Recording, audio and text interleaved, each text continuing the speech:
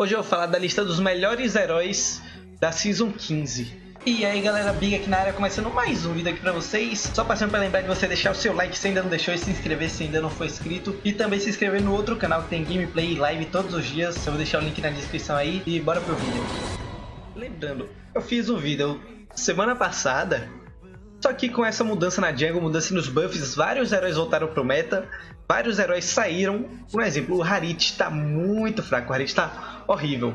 Vou mostrar a lista aqui pra vocês e vou falando um pouquinho mais.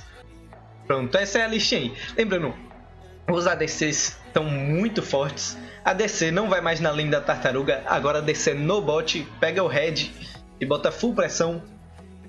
Os ADCs, os heróis em geral que fazem a faca da selva completa, tá muito forte, porque a faca da selva agora dá 50% do dano nos monstros da selva. Antigamente era só 30%. Então você consegue estacar muito mais rápido a, a faquinha da selva. Fora que com Red Buff, ele dá dano real baseado no ataque físico.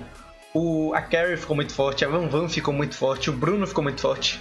Esses heróis já eram fortes, só que com esse buff no Red, ficou mais forte ainda. Pô, a Carrie, com a faca da céu completa e, e confronto sem fim, você dá um ataque e um dash, você mata o cara.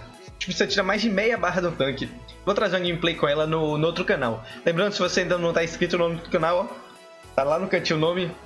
Eu vou deixar o link na descrição também. Segue lá.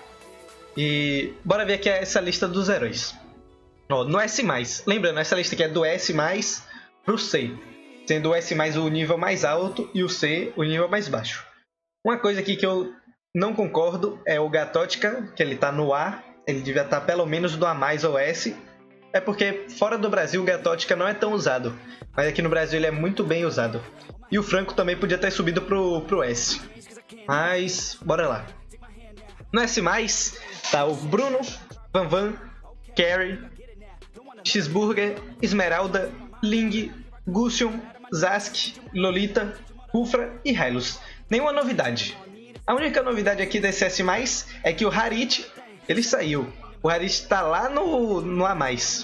Então, então tomou o nerf. Eu vou explicar mais pra frente também. Ele tá bem, bem fraquinho.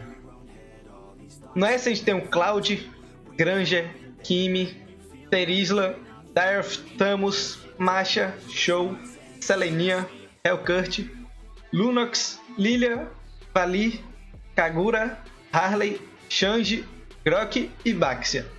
Eu acho que esse Hellcurt ele podia ir pro S+, porque o Hellcurt está muito forte também. E acho que de resto é condizente. E aí só vocês olharem essa lista de baixo. Essa lista aí eu achei muito boa, só com essas alterações. Botar o Gatótica um pouco mais para cima e o Franco um pouco mais para cima também.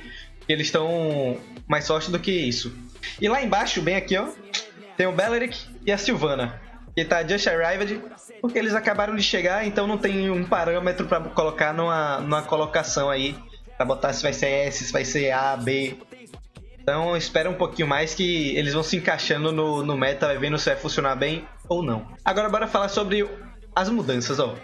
O Harit, ele tá fraco agora. Por quê? Porque o Harit antigamente precisava de 30% de redução de recarga para ficar pulando várias vezes com a segunda skill. Bora aqui no Pet Notes para ler, ó, a mudança do Harit. Ele foi, ele foi nerfado. O, o, meme já veio pronto, né? Que eu postei essa semana no, no outro canal. É. Nerfa mais, pode nerfar que tá pouco. E a gameplay de Harit lá. E aí, infelizmente, eles nerfaram e agora o Harit não tá mais para ser banido. Cadê o Harit? Aqui, ó. Ímpeto do Cronos. É a segunda skill dele.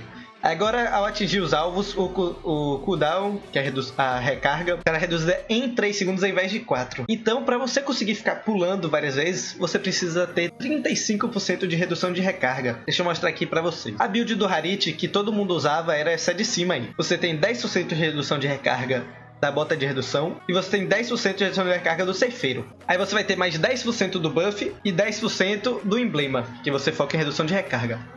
Ok, 40%. Só que o Harit no level 4, buff antigamente não dava 10%, dava 20%. Então antigamente era 20% do buff, mais 10% do emblema, só aí você já tinha 30, não precisava fechar nada. Level 4, você já conseguia ficar pulando e com a ult e já matar os caras tudo.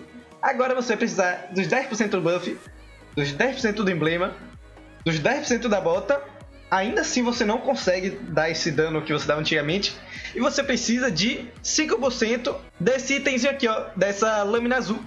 Pra conseguir começar a dar dano com ele, começar a jogar. Aí você morreu, alguém roubou seu buff, acabou seu jogo. Você não vai conseguir jogar, nem se você fechar o ceifeiro. Você teria que fechar mais 5% de redução de recarga ainda. Então uma alternativa que eu acho que pode servir pro Harit é você fazer o livro de primeiro item, porque aí teria 10% do... Teria os 40% já bem rápido, porque o livro é baratinho. Você não faria a bota, mas eu acho que ele perde um pouco de dano. Vamos ver como vai ficar aqui pra frente. Mas o Harit ele tá bem, bem fraco de verdade. Não precisam banir mais Harit. Para os banimentos, eu acho que ficaria bom banir Carrie, Ling, Hellcurt, Ufra, Lolita, Bruno, Exborg, Esmeralda. Esses oito heróis são os. Acho que vão ser os top banidos aqui. Ah, Big, mas só tem seis bans? Óbvio, sempre vai passar algum. Mas aí depende da partida, depende do que você gosta de jogar contra ou não, depende do que seu time quer banir ou não. Mas eu acho que esses oito heróis, eles vão começar a ser banidos agora a partir do Mítico, principalmente na próxima season. Então vídeo foi isso aí, espero que vocês tenham gostado. Lembrando de se inscrever no, no outro canal, que eu postei um videozinho com a Carrie.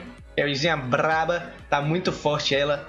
Cheio de dano real, cheio de dano verdadeiro, derretendo tanques. E é isso aí. Muito obrigado a todo mundo que assistiu até aqui. É nóis, valeu, fui!